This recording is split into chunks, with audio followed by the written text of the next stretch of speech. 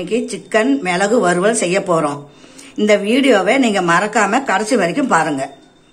தேவையான பொருட்கள். சிக்கன் அரை கிலோ கருவேப்பிலை தலை ரெண்டு கொத்து இஞ்சி பூண்டு ஒரு ஸ்பூனு கசகசா அரை ஸ்பூனு மிளகு ரெண்டு ஸ்பூன் தயிர் ரெண்டு ஸ்பூன் ரெண்டே ரெண்டு பச்சை மிளகாய் ஒரே ஒரு வெங்காயம் பெரிய வெங்காயம் உப்பு தேவையான அளவு. வாங்க இப்போ நம்ம முதல்ல சிக்கனை ஊற வைக்கலாம். அது எப்படிங்கிறது பாருங்க. ஆ? பாருங்க முதல்ல இஞ்சி பூண்டு. அதுக்கப்புறம் தயிர். தயிர் ஊற்றுறது எதுக்குன்னா நல்லா சாஃப்டாக இருக்கும் அதனால.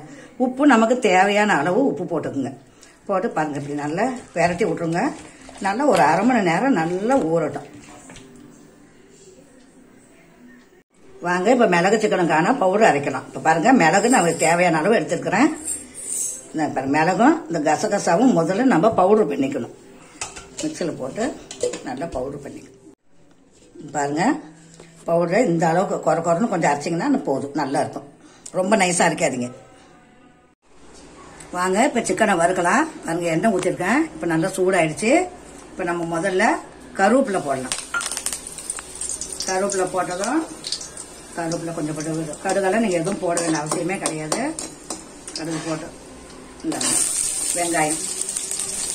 வெங்காயம் நல்லா வதக்கணும் வெங்காயம் போடுறதுமே பச்சை மிளகாய் பாருங்க. அது தும்புண்டா கட் பண்ணி போட்டிருக்கிறேன். வெங்காயம் பச்சை மிளகாய் கருவேப்பிலை.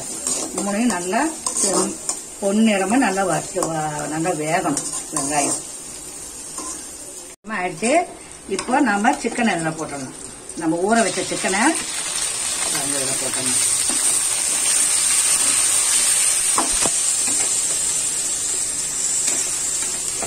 அதிகமாக ஊற்ற வேண்டியது இல்லை ஏன்னா நம்ம தயிரில் நல்லா இஞ்சி போட்டு தயிரில் நல்லா ஊறிக்கிட்டு நல்லா ஊறினதை நல்லா வதக்கி விட்டோம் கொஞ்சமாக தண்ணி. நம்ம ஊற்றி அப்படியே மூடி வச்சு கொஞ்சம் அடுப்பை சிம்மில் வச்சுட்டிங்கன்னா அப்படியே பஞ்சு மாதிரி வந்து போயிடும். அப்புறமே நாம் இந்த பவுடர் இந்த மிளகும் கத்திரசாவும் அரைச்சி வச்சுருக்கிறோம். அதை போட்டு நம்ம அப்புறமேல இறக்கி வச்சுக்கிறோம் ம், அதை உங்களுக்கு காட்டணும் நான் அப்புறமேல. இப்போ நல்லா பெரட்டி விடுங்க. நல்லா பெரட்டி விட்டு தான் எடுக்கணும். இப்போ பாருங்கள் நல்லா இந்த அளவுக்கு வதங்கிடுச்சு. இந்த அளவுக்கு வதங்கினா போதும். இப்போ நம்ம சிக்கன் ஊற வச்ச பாத்திரத்துல தண்ணி கொஞ்சோண்டு அப்படியே ஊற்றி நல்லா இப்படி அலாசி இப்படி எடுத்து ஊற்றுனீங்கன்னா அந்த தண்ணியே போதும் நல்லா வெந்துடும் அப்படியே சிம்மில் கொஞ்சம் அடுப்பு கம்மியாக வச்சு நீங்கள் ஒரு பாத்திரம் போட்டு நல்லா மூடி வச்சிடணும் கப்புன்னு நல்லா வெந்துடும் ரொம்ப தண்ணி ஊற்ற வேண்டியதே இல்லை.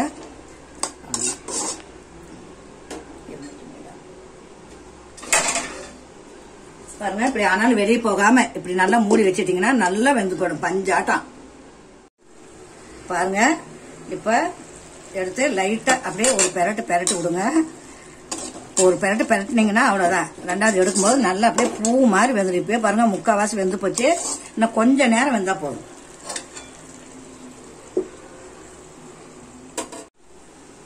பாருங்க இப்ப சிக்கன் எடுக்கிறேன்.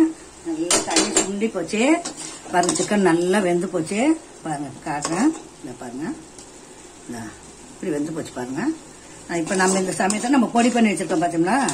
இந்த பொடியை நாம இப்ப நல்லா போட்டு பெரட்டி எடுக்கணும் நல்லா நல்லா வறுக்கணும் பார்த்தீங்கன்னா இப்படி மிளகு போ மிளகும் கசகசாவும் பொடி பண்ணி வச்சிருக்கதை இப்ப நம்ம போட்டு பாருங்க நல்லா இப்படி பெரட்டி நல்லா வறுத்து எடுத்துடணும் நல்லா வர வர வரணும் வறுத்தீங்கன்னா அவ்வளோ டேஸ்டா இருக்கும். குழந்தைங்களுக்கு நீங்க இதெல்லாம் சில்லி எல்லாம் வாங்கி தரதுக்கு இந்த மாதிரி வறுத்து கொடுத்தீங்கன்னா குழந்தைங்க விரும்பி சாப்பிடுவாங்க. சளி பிடிக்காது. உடம்புக்கு அவ்வளோ நல்லது. குழந்தைங்களுக்கு இருமல் எடுக்காது. மிளகு அவ்வளோ நல்லது குழந்தைங்களுக்கு. பாருங்க இந்த பதம் வந்ததுமே இறக்கிடுங்க. நல்லா இருக்கும். நல்லா டேஸ்டா இருக்கும்.